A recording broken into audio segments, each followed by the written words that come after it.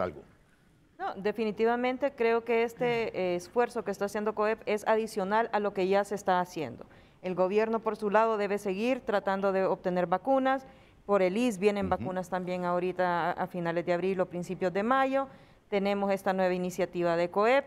Entonces, e, es, es simple y sencillamente un, un esfuerzo más el que nosotros estamos haciendo para apoyar, porque como decía Daniel, nosotros necesitamos regresar a la normalidad o una normalidad relativa.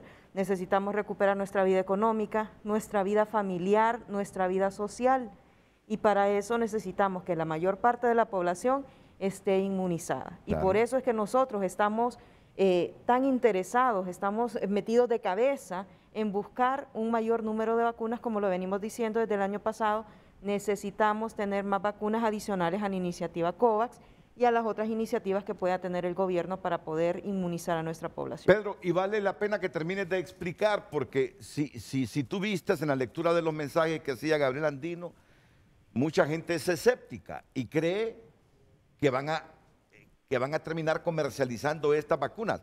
Explícale eh, en forma adicional a lo que ya decía eh, Daniel Fortín, cuál es el procedimiento. La gente se está imaginando que cuando vengan las vacunas van a ir directamente a las empresas que las solicitaron al Consejo Hondureño de la empresa privada.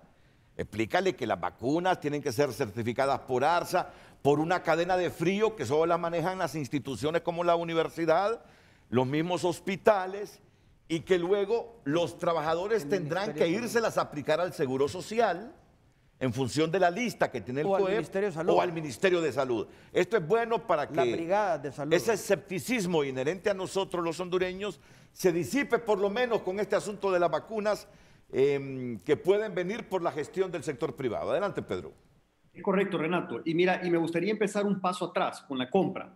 La compra la vamos a hacer directamente a un laboratorio. No nos interesa comprar a través de intermediarios que ganen comisión. Nos ha llamado mucha gente, Renato. Eh, a mí, estoy seguro que a Daniel, a Juan Carlos y al resto de personas que estamos de alguna u otra manera tratando de, colaborar con este esfuerzo, para ofrecernos ayuda para comprar las vacunas. Algunos porque genuinamente quieren ayudar sin ningún interés y nos quieren conectar directamente con los proveedores y otros porque quieren hacer negocio. Esto no es para hacer negocio, ni para el que compra, ni tampoco para revender. Entonces, tenemos que asegurarnos de que las personas que nos pretendan hacer contactos sean personas que genuinamente nos quieran ayudar sin tener ningún interés económico, porque este esfuerzo que vamos a hacer todos los empresarios no es para que nadie se vaya a lucrar con él. Entonces, una vez que logremos comprar las vacunas, que es cierto, no va a ser fácil, eh, conseguir vacunas en el mundo en este momento no es nada fácil, pero en algún momento las vamos a tener que conseguir. Una vez que se compren las vacunas, entonces, eh, para empezar, la compra va a ser a nombre del gobierno de la República. ¿Por qué? Porque los laboratorios no le están vendiendo eh, a empresa privada. Entonces, nosotros ponemos el dinero, el gobierno hace la compra a nombre del gobierno con el dinero que nosotros ponemos y luego se le entregan las vacunas cuando vengan a la Secretaría de Salud y al Seguro Social, quienes son los que van a manejar en función de los listados que nos den las empresas que están pagando las, las, las vacunas para poder vacunar entonces a los trabajadores, eh, a sus familiares y luego vamos a definir la parte que es donación, a quién se le va a donar. Eh, había una pregunta de una persona que, si mal no recuerdo, creo que era Marino, eh, que, lo puso en las redes sociales, que leyó Gaby, y ahí lamentablemente, si, si, si esta persona no tiene un patrono que decida regalarle la vacuna, lamentablemente pues no le vamos a poder apoyar. Él tiene que buscar alguna manera de que, de, que en su empresa o que se agrupe con otras personas eh, y que contacte a la Cámara de Comercio de Cortés o a la Cámara de Comercio de Tegucigalpa o a la ANDI o a cualquier asociación empresarial o directamente al COEP para poder entonces eh, hacer la compra de la vacuna. Pero repito nuevamente, no queremos que haya negocio ni en la compra, por eso es que estamos teniendo cuidado con las personas que nos llaman para asegurarnos de que sea que nos van a ayudar sin ningún interés económico para contactarnos directamente con los proveedores y no es que están tratando de intermediar a cambio de una ganancia. Y segundo, las vacunas las vamos a traer, se las vamos a entregar a la Secretaría de Salud y al Instituto Hondureño de Seguridad Social, porque ellos tienen las cadenas de frío para el manejo de la vacuna ellos tienen el personal para manejarla y también para administrarla, porque inyectar una vacuna no es así nomás. Hay técnicas para inyectar vacunas y hay que tener también personal médico listo ahí por si alguna persona tiene alguna complicación de salud eh, por estrés o, por una reacción alérgica o cualquier cuestión. Entonces, eh, nosotros lo único que estamos haciendo es tratando de gestionar la compra a través de los contactos que tenemos y poniendo el dinero. Todo lo demás se hace entre ARSA, Secretaría de Salud y el Instituto Hondureño de Seguridad Social. Y eso es bueno que lo remarquen. En las vacunas se compran a nombre del gobierno, pero la gestión para la adquisición de esa vacuna la hace el sector privado. Correcto. Que ese es el valor agregado de esta transacción. Ese es el valor agregado de esta transacción. La expertise de los empresarios en la importación de medicamentos. Eso es lo que hay que aprovechar. Entonces, que quede claro eso. Y, Hay una ti- y cosa, mira, Renato. y, y tiene razón Pedro. que lo que, lo que hablaba de Pedro.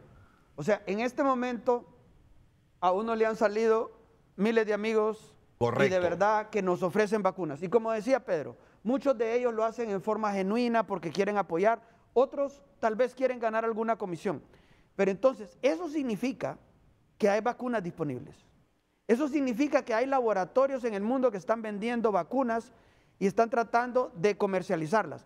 Porque han mandado cartas de laboratorios que tienen disponibilidad, han mandado diferentes cosas que se van a estudiar, se van a analizar sobre la mesa con toda la transparencia del caso porque definitivamente queremos que las vacunas se compren directamente al laboratorio. Qué bueno que lo digan, porque hay empresarios, laboratorio. porque hay empresarios que creen que le pueden vender al COEP. No. No, no, no, no y no, no es así, entiéndanlo. No es así. No es así. Hay muchos empresarios que creen que le pueden vender al COEP. No es así la situación. El Luis y después el doctor Marco Tulio Medina. Sí, para, para terminar de aclarar, Renato, eh, hay un grupo específico que, que- que tenemos nosotros en este momento del sector privado que está haciendo ese filtrado de todas esas ofertas que hay, porque como decía el doctor anteriormente, hay mucho mercado negro, hay mucha gente que quiere aprovecharse de la situación y nosotros, eh, eh, este es un esfuerzo muy serio el que estamos haciendo, muy transparente, y primero hacemos toda una evaluación de las personas que nos están llegando, como dice Daniel, con buenas intenciones, pero nosotros hacemos todo un estudio previo para definir si es una oferta real o no. Y si ustedes leyeron bien ese, el, el acuerdo que tenemos, solo podemos comprar directamente a las farmacéuticas, sin intermediarios, porque eso nos asegura de que realmente es un producto de calidad el que estamos eh, teniendo. En los mismos grupos de trabajo en los que estamos permanentemente, casi 24/7, está ARSA y está el Instituto Hondureño de Seguridad Social.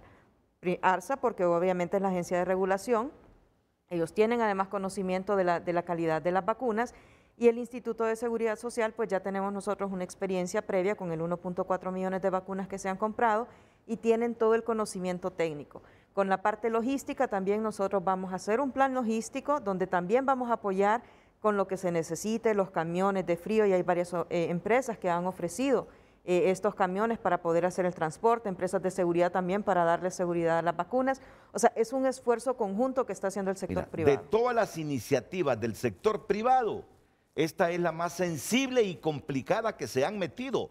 Y la operación debe ser con un bisturí fino, porque si alguien anda con otras intenciones, no sabe la gravedad que le puede acarrear al Consejo Hondureño de Empresa Nosotros Privada. pensamos que eso no va a pasar. Y por otro lado, solo se van a comprar vacunas que estén aprobadas. ¿va?